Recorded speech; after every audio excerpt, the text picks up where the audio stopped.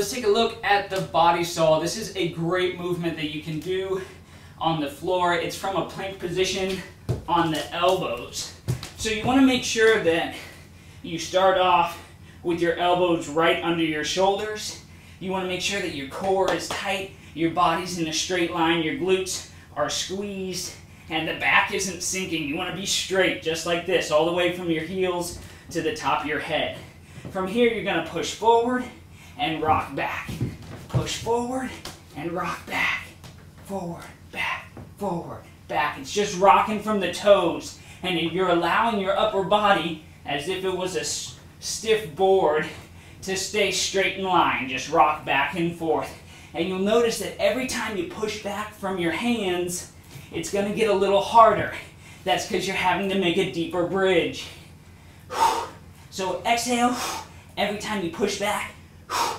That's going to help you squeeze the abdominals and get the most out of this movement.